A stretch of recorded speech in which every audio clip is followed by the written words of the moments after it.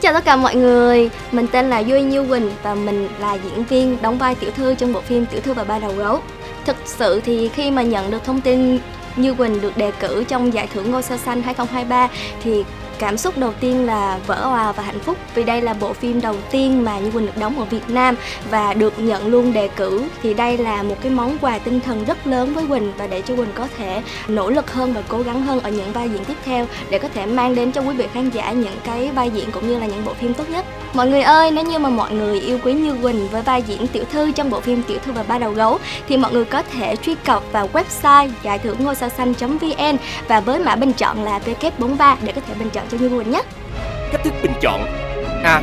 Bình chọn qua hệ thống SMS Cú pháp 1 Cú pháp NSX Khoảng cách Mã số bình chọn gửi 8279 Ví dụ NSX TH02 gửi 8279 Giá trị tin nhắn 2.000 đồng một tin nhắn Một tin nhắn bằng 3 lượt bình chọn trên website D.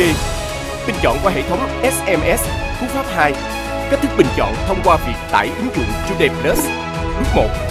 Cài đặt app Today Plus thành công trên điện thoại. Bước 2. Đăng ký tài khoản bằng số điện thoại. Bước 3.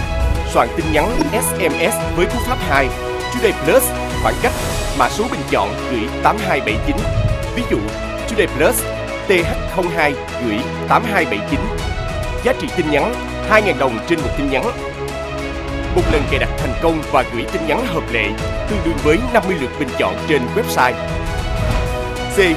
Bình chọn qua hệ thống website. Cách thức đăng nhập và bình chọn. Bước 1. Đăng nhập vào tài khoản.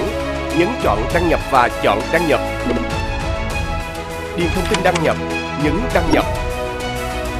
Bước 2. Bình chọn cho đề cử bạn yêu thích. Nhấn vào nút bình chọn cho đề cử bạn muốn bình chọn nhập mã xác nhận và nhấn nút xác nhận để hoàn thành bình chọn. Lưu ý, không giới hạn lượt bình chọn cho mỗi tài khoản trên website. Mỗi thuê bao, tài khoản có thể bình chọn cho nhiều hạng mục và nhiều lần cho từng hạng mục. Riêng với bình chọn SMS, cú pháp 2 Today Plus, mỗi thuê bao chỉ được bình chọn một lần duy nhất không phân biệt hạng mục. Lễ trao giải Ngôi sao xanh sẽ được diễn ra trực tiếp vào ngày 10 tháng 1 năm 2024 ở trên kênh Today TV và UTV. Mọi người hãy nhớ đón xem nhé!